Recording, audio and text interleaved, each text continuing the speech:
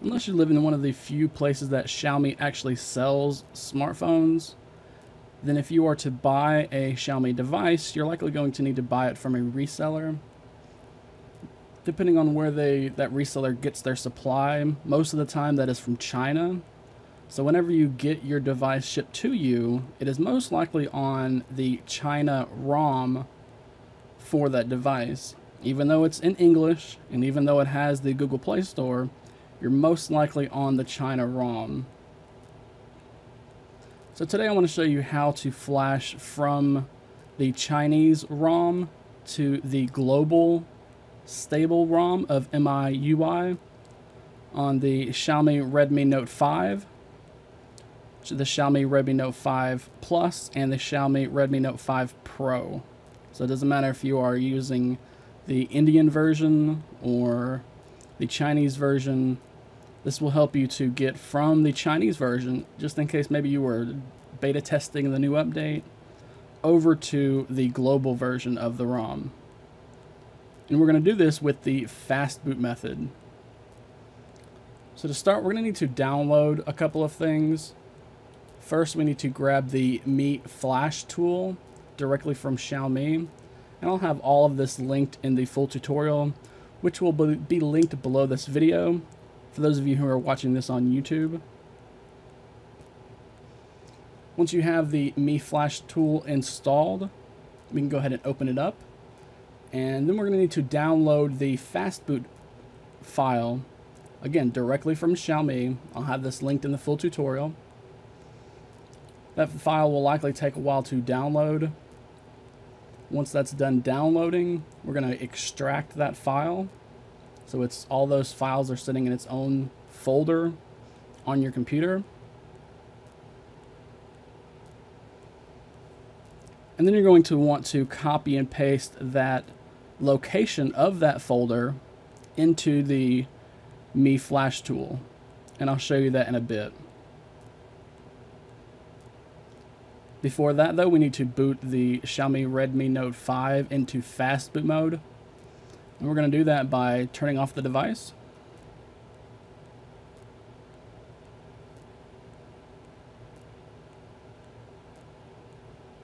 We're going to press and hold the power and volume down buttons at the same time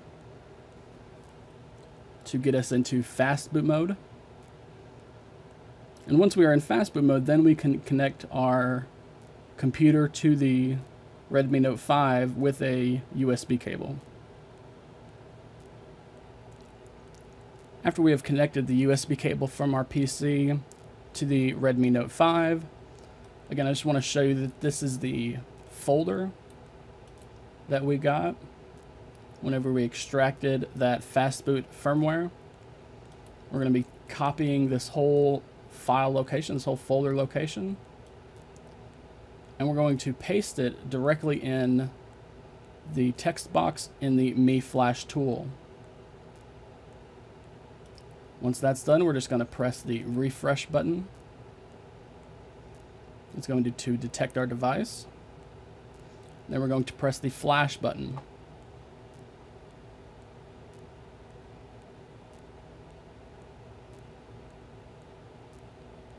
This is very similar to using the flash all batch file for anybody who has ever flashed a firmware on a Nexus or Pixel device. Except instead of actually doing this from command prompt and having ADB and fastboot tools installed, that is what this Mi Flash tool does. Because as you can see, all of these images that we are flashing to the device is very similar to how Google does it.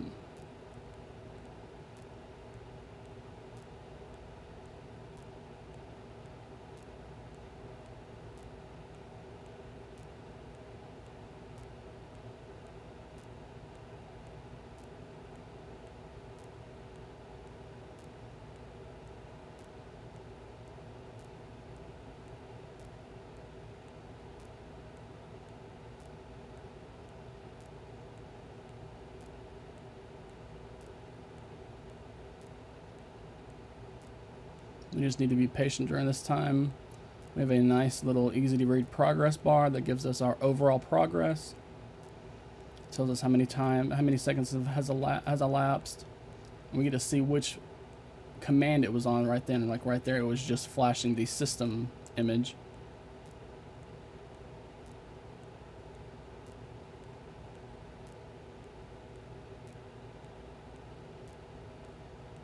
And again, just be patient.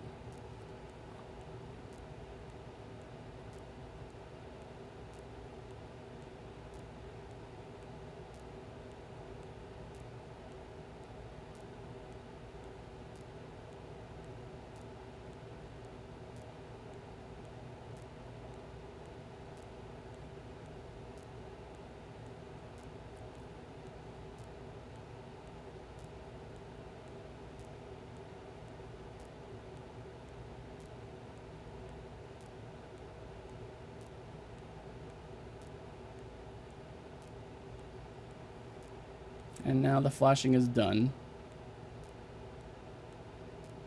Once that's done, you're going to see our smartphone reboot. This first boot cycle is going to take a little bit longer than normal.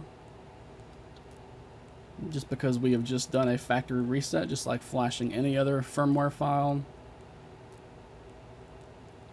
So it's going to have to set everything back up. And then we need to activate Android connect our device over or connect our account to the device. And then we will be back up, back up and running on the Xiaomi Redmi Note 5, the Redmi Note 5 Pro, on the global stable ROM of MIUI.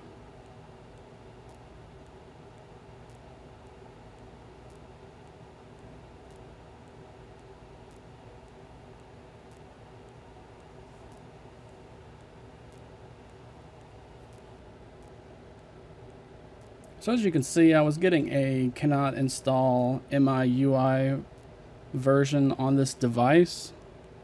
After doing a quick Google search, a lot of people were recommending that I need to I needed to unlock the bootloader again, which seemed weird because the bootloader was already unlocked before. But even still, I, I powered down the Redmi Note 5, booted it into fast boot mode, and then I opened up the Mi Unlock application connected it to there and did the just the regular unlock the bootloader option that I did there that rebooted the device did a factory reset again just like every time you lock or unlock the bootloader. And now I'm going through another boot cycle which should have us right back into MIUI on the global version